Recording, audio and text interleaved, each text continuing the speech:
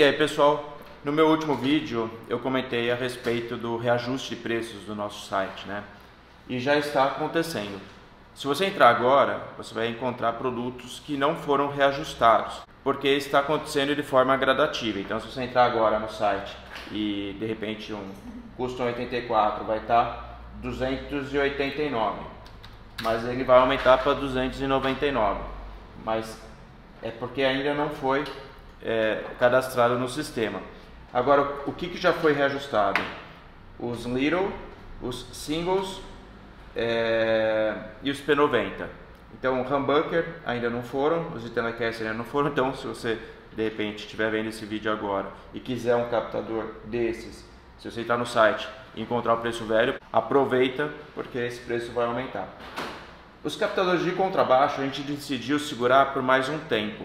Então, se vocês entrarem lá na parte dos contrabaixo, é, o Jazz Bass Precision não tiveram alteração, é, né, então o mesmo valor, com exceção do Quarter P, que aumentou o preço. Isso não quer dizer que não vai é, mexer nesses de contrabaixo, mas a gente vai segurar um pouquinho ainda. Aproveitando que eu estou aqui no site, falar que no Saldão entraram produtos novos, inclusive algumas peças como chave, knobs. A chave está com preço muito bom. Enfim, entraram mais alguns captadores também. Mas nem tudo é notícia desagradável, né? Porque aumento de preço ninguém gosta. Tem uma notícia bem legal aqui, que é este captador. Na verdade, estou mostrando um captador, mas vai ter uma linha aí, pelo menos uns dois ou três modelos desse captador aqui. O que que significa? Pô, Eric, mais um single? Eu vou explicar para vocês. Como o Dallas é um captador feito, como vocês sabem, com base no Texas Special e tal, é um captador que ficou mais caro, tá lá 369 no site. A gente tem uma opção mais em conta, que seria nessa pegada do Dallas, que é o Custom Blues. Até fiz uma comparação, tem vídeo a respeito, mostrando as diferenças entre o Custom Blues e o Custom Dallas. Diferenças construtivas de matéria-prima e, consequentemente, de timbre. Mas assim, o Blues subiu, mas subiu menos, né?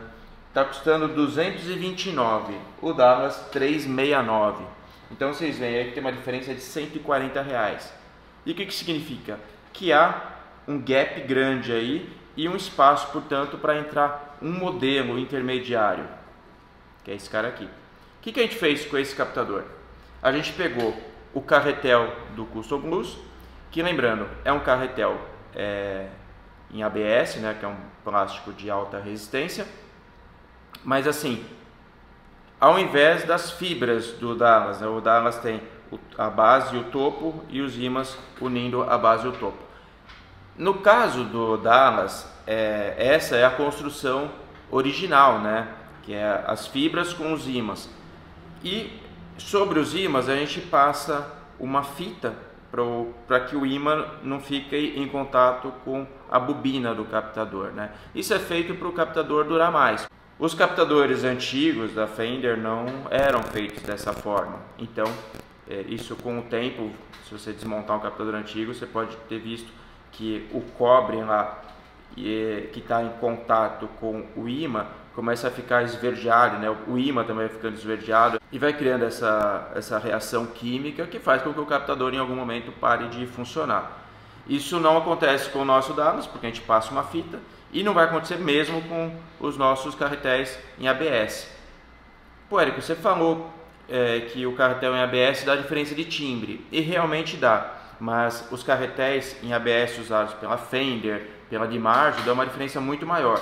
Isso porque no nosso carretel, aquela parede que separa, né, de, de plástico que separa o imã da bobina é menor no nosso. A gente fez isso proposital. Então, é, a gente reduziu ao máximo essa parede, né, de forma que não comprometa a estrutura, mas a gente reforçou as, as estruturas internas. Quando os outros fabricantes usam a própria parede como uma estrutura, a gente fez como se fosse um, uma estrutura de um edifício. E olha que eu sou arquiteto de, de formação, hein? acho que é por isso que a gente adotou esse, esse sistema. É, então, não é uma parede estrutural, quem for engenheiro vai entender.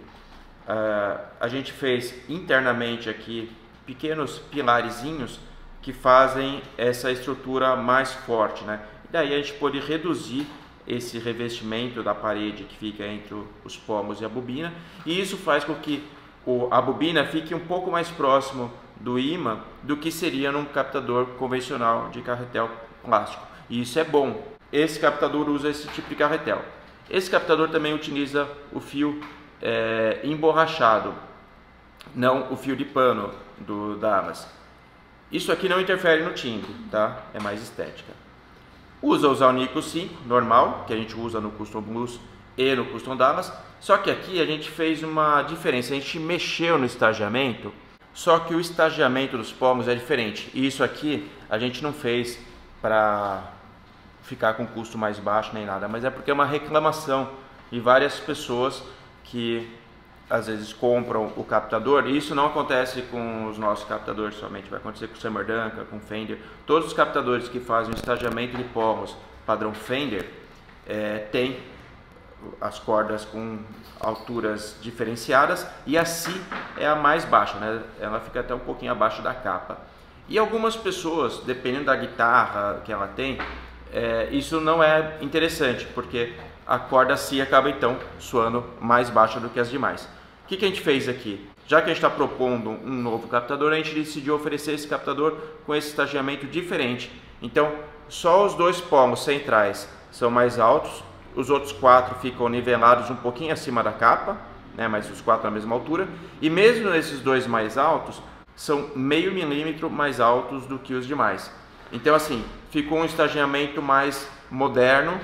É, moderno eu digo assim, essa questão da corda Si ser mais baixa tem a ver com, é, com o que a Fender fez lá nos anos 50.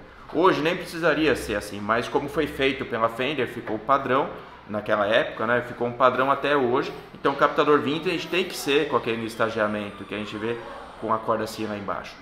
Mas isso aqui, como é uma proposta de um captador, como a gente já tem o Dallas, já tem o Custom Blues dessa forma, e esse aqui é um outro captador, a gente decidiu fazer dessa forma. Então assim, isso aqui vai ser até mais interessante para algumas pessoas, é, mas é tudo imã de Alnico 5, e a gente manteve o fio que a gente usa no Dallas, que é o Plain Enamel. Vamos lá, tá vendo? Com a fita para proteger. A questão da resistência, a gente fez esse captador um pouquinho, de novo, como é um, um outro produto, a gente decidiu dar uma customizada na, nas especificações técnicas. Então, a resistência é um pouquinho mais forte do que é feito no Dallas. É, esse captador, então, é um pouco mais quente, tá? Mas fica ainda nessa pegada Texas, tanto é que o nome desse captador é Texas Soul. E estará no site em breve. Então, assim, é uma opção, sim, mais barata que, a, que o Davas, só que fica muito parecido com o Davas né, nas especificações técnicas. É um captador que estaria então acima do Custom Blues no sentido da originalidade do captador. Em questão de timbre, você não vai ter muita diferença do que a gente propõe para o Damas, levando, claro, em conta que algumas diferenças são propositais, como aumentar um pouquinho a resistência e modificar o estagiamento, e isso é bom, pelo menos para a maioria dos casos aqui, acredito, acredito que será uma coisa boa. Outra coisa, além deste aqui, a gente vai ter uma versão do 69 também, no mesmo conceito, e também do 54. Então assim, o 69 e o 54 vão estar numa pegada de especificação técnica aí mais próximas de captadores da Sul ao conferir. Beleza, pessoal? O que, vocês acharam dessa novidade? Ah, e ó, tem uma, uma questão aqui também. Esse captador, como a gente faz os captadores carretel plástico, não fica fiozinho aqui. Então esse captador, para você danificar, é muito, é infinitamente mais difícil do que o danificar um, um Dallas ou um Texas Special da Fender. O nosso Dallas mesmo a gente já modificou a saída dos fiozinhos da bobina, é, então já é um pouco mais de, e a gente põe a fita, né, em, em, ao redor da bobina. Então você danificar um Dallas nosso é mais ou um, um 54 já é mais difícil de você danificar do que um captador original Fender ou um original Seymour Duncan desses modelos, né, single. E, e esse tipo de construção aqui é ainda mais difícil, é, é praticamente impossível. Você pode, porque o que acontece, o, o cabo ele, fica, ele dá um nó aqui no carretel, não tem nenhum fiozinho e também porque esse cabo é preso no fio da bobina aqui diretamente no, no carretel do captador. Depois a gente passa uma fita sobre, sobre eles também. Então é muito, muito robusto.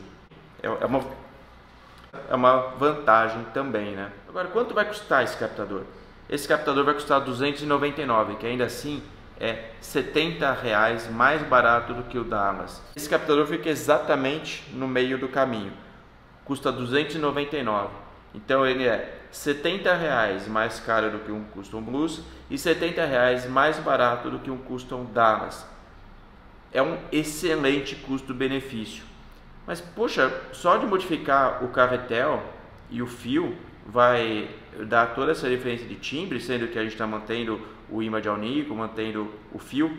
Bom, a, as peças de fibra são mais caras, com certeza, fio de pano é mais caro, com certeza, e bem mais caro, mas tem uma questão aqui, que é o processo de fabricação.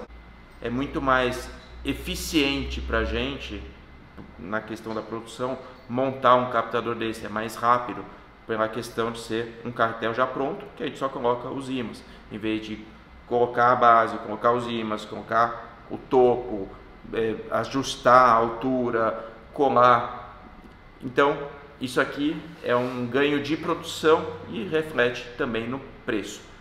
No caso do Damas, como o 54, todos esses captadores Custom Shop, se você mexer no imã, você danifica o captador. A chance de danificar é enorme, né? Porque o, o imã está lá encostado na bobina. Tem uma fita, mas, enfim, se você mexer esse imã, o pomo, você provavelmente vai mastigar esse imã e romper um fiozinho que é super delicado, né? nesse tipo de captador não há esse problema, não é para você ficar mexendo nos pomos, mas se precisar fazer um pequeno ajuste, dá para fazer, porque embora seja uma parede fina aqui, ela permite você movimentar um pouquinho, mas não faça isso em casa, se fosse o caso, a gente preferia fazer aqui para você. Beleza? E a possibilidade de customização, então, dos pomos é maior. Ah, eu quero tudo flat. Tudo bem, a gente faz tudo flat, é, mesmo no, no próprio captador. Dá para tirar esse pomo e colocar outro. E aí, o que, que vocês acharam dessa novidade? Espero que vocês curtam, porque isso aqui é um, um esforço nosso de oferecer um produto tão bom quanto o Dallas por um preço bem mais acessível por 300 reais, aí 900 reais o, o set, você tem um captador com as especificações do Dallas, nada mal. Beleza? Valeu pessoal, até a próxima.